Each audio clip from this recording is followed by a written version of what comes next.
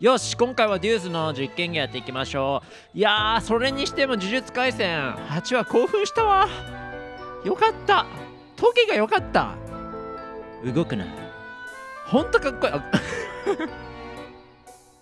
今ねノリでね真似しようとしたんだけど一般人には無理に決まって俺はただ格好をつけてる一般人でしかないのよ。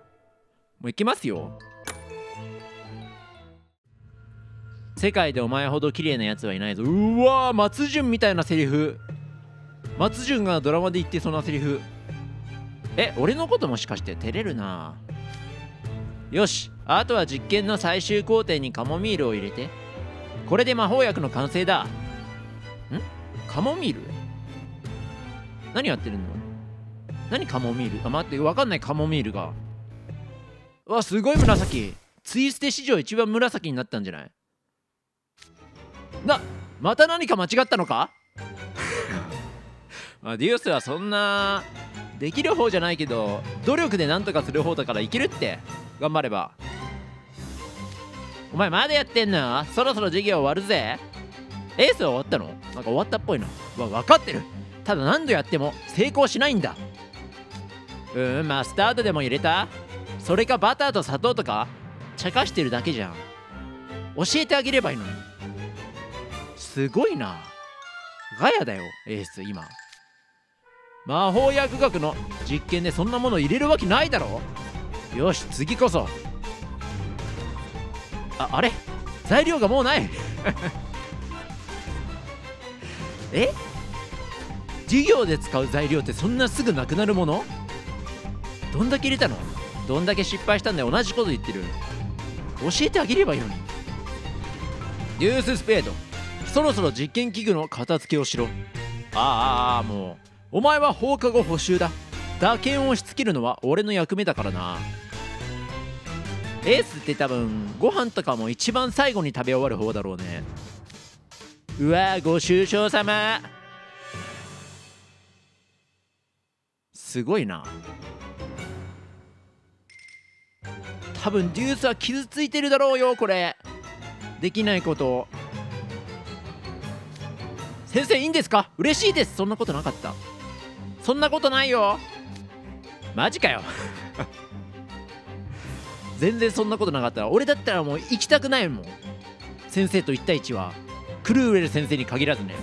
植物園のカモミールを摘んで放課後また実験室に来るように。いいな。はいよろしくお願いします。すごいやる気が。え勝手に取っていいの？これは。補習に遅刻しないように休み時間のうちに積んでおこう。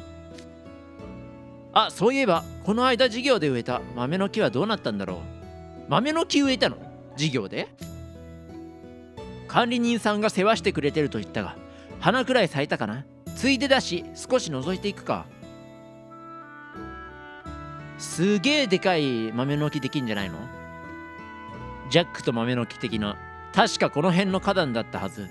それはないかさすがに。あったあった。これだ。ん？苗の時はもっと鮮やかな緑だった気がした。かなり色がくすんだな。えどういうこと？誰かなんかいたずらしたんじゃないの？色塗ったんじゃないの？それに心なしか元気がないような。もしかしてちゃんと世話されていないのか？え？管理人さんって誰？まず。不法侵入者じゃないのそれ。違うの？ちょっと何よこれ。ビルじゃん。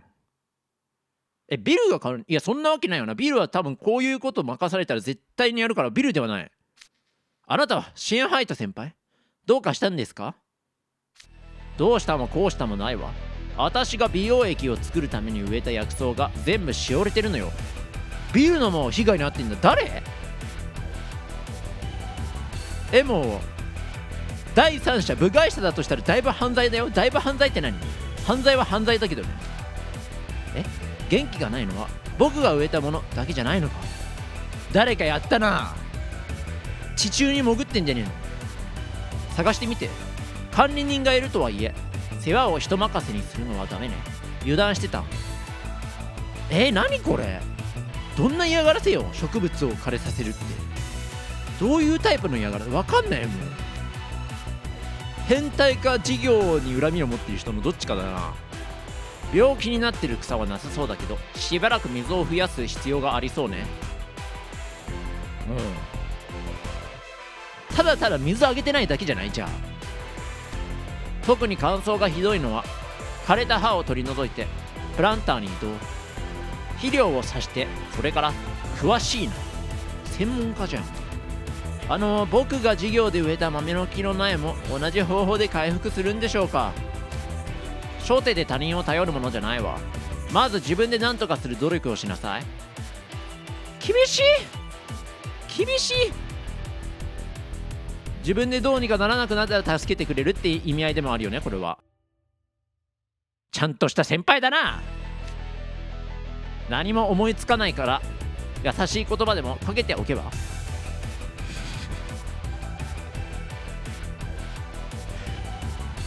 ついのよちょっとビル。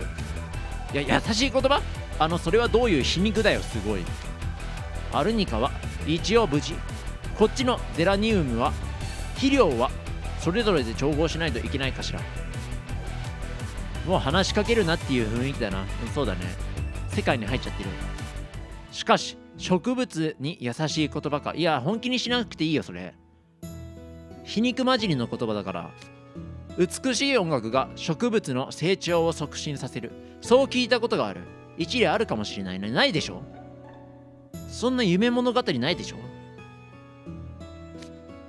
ごほん。ま豆の苗さん。デュースさすがに天然が過ぎるよそれは。さすがに。いいなその葉っぱ。茎もしっかりしてて健康そうだ。いやさすがに変人だからね。遠くから見るとただの。花が咲けばもっと綺麗に。いや今の状態を褒めてやった方がいいのか？えっ、ー、とエースじゃないデュースだった。変な人が流した噂だって。ただの。聞いたことないでしょ？言葉だけで育つ花なんて。ないか。あデュースくんちょうどいいとこに。すごいとこ出くわしたぞ。世界でお前ほど綺麗なやつはいないぞ何この状況？え何なんすか？ブブッチ先輩？ち違うこれは。褒めると植物が元気になるってシェンハイト先輩が。なるわけないでしょ。誤解生まれてるじゃんなんか。えー、植物が恋愛対象。な変態。変わったタイプかと思ったっす。思うよね。そうだよね。そんな趣味はありません。見えるのよ遠くから見ると。だいぶ変わった人に見えるよ。デュース君顔真っ赤っすよ。しっしっしよかったねエースじゃなくて。ちょっとそこの2人うるさい。人が真剣に作業してるんだから黙りなさい。厳しいも怖っ。すごいやつしてくるじゃん。すいません。シンハイト先輩のアドバイスに従ったのに当の本人に怒られてしまった本気にするとは思ってないからねビルも。災難っすねデュース君。いやビルも多分そこまでデュースがそこまで天然だとは思わなかったんじゃないかな。なんでおしゃべりなんだよ。ちょ待って。はい世界でお前ほど綺麗なやつはいないぞ。2話目。なんで2話目だけニューついてんの？まさか植物に言ってるとはね。なるほど。あんたたちが無駄に騒いでた理由は分かったわ。あ聞いてくれたの？デュースだけ？あんたバカじゃないの？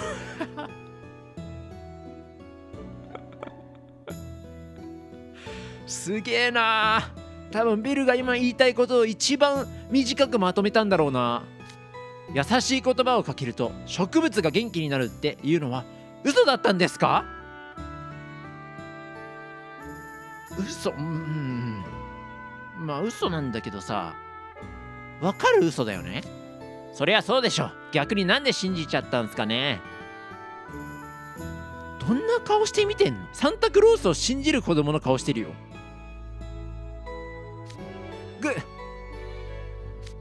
でも素直さも美徳の一つよ。素直さだけじゃこの世界生きていけないけど。上げて落とすな。嫌だな。